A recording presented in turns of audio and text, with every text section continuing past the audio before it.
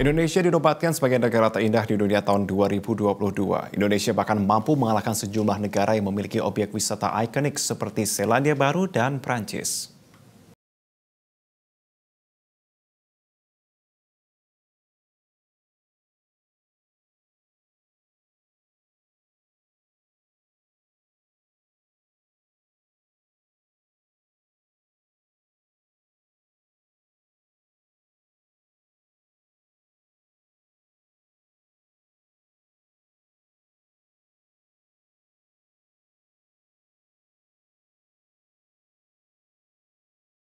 Dan fauna Indonesia yang tersebar di seluruh pulau menjadikannya salah satu daya tarik tersendiri bagi para wisatawan, baik dari dalam negeri maupun mancanegara. Di hutan hujan tropis ini, bisa ditemui tumbuhan dan satwa unik yang tidak banyak terdapat di wilayah lain. Bahkan Indonesia juga merupakan rumah bagi lebih dari 17.000 pulau. Dengan berbagai keindahan dan beragam satwa inilah, sebuah studi dari situs money.co.uk yang disebarluaskan oleh Forbes menempatkan Indonesia di peringkat pertama sebagai negara terindah di dunia. Studi ini menentukan urutan 50 besar negara terindah di dunia lewat analisa berapa jumlah keajaiban alam di setiap lokasi di negara-negara tersebut, yang meliputi terumbu karang, hutan hujan tropis, gunung berapi, gletser, hingga lainnya. Hasilnya, Indonesia dinobatkan sebagai negara paling indah di dunia. Perolehan ini didasari pada skor keindahan alam Indonesia yang mampu mencapai 7,7 dari 10. Penilaian ini dihasilkan dari analisis sejumlah atraksi alam pada setiap 100.000 km persegi wilayah yang ada di dalam sebuah negara. Sebagai negara maritim, Indonesia yang memiliki 17.000 pulau merupakan negara dengan garis pantai terpanjang di dunia, yakni 50.000 km. Potensi wisata bahari pun diperkuat dengan luasnya terumbu karang di Indonesia, yakni mencapai 50.000 km. Keindahan dan keanekaragaman hayati terumbu karang Indonesia pun telah diakui dunia.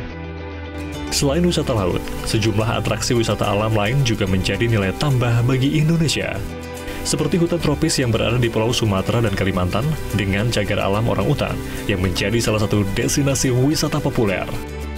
Selain itu, sejumlah situs warisan dunia UNESCO seperti Taman Nasional Komodo pun turut mendukung perolehan nilai bagi Indonesia sebagai negara terindah di dunia.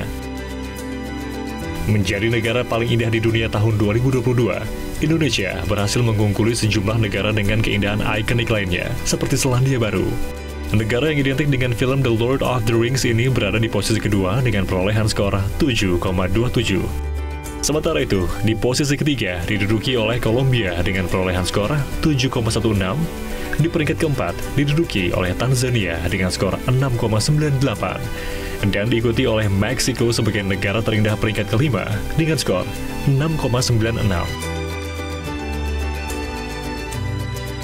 Walaupun Indonesia telah mendapat predikat nomor satu sebagai negara terindah di dunia untuk mendorong pergerakan wisatawan pasca pandemi COVID-19, Menteri Pariwisata dan Ekonomi Kreatif Sandiaga Uno membuat strategi dengan mendorong lima destinasi super prioritas dan meluncurkan 100 paket wisata Nusantara. Jadi terbetik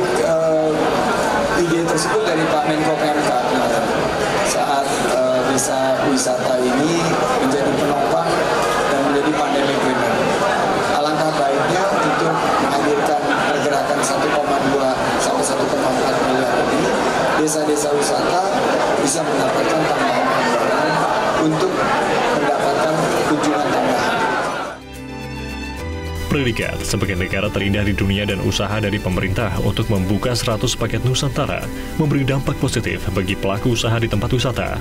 Untuk dengan adanya penetapan saat ini pengunjung khususnya wisatawan mulai ada peningkatan dibanding yang bulan kemarin-kemarin waktu masih dalam kondisi pandemi sekarang sudah ada perkembangan dibanding yang kemarin-kemarin dan oh. dampak uh, apa itu uh, masyarakatnya juga lebih senang sebenarnya ada perubahan pengunjung lah dari wisatawan mancanegara yang pasti karena Indonesia ditetapkan sebagai negara terindah.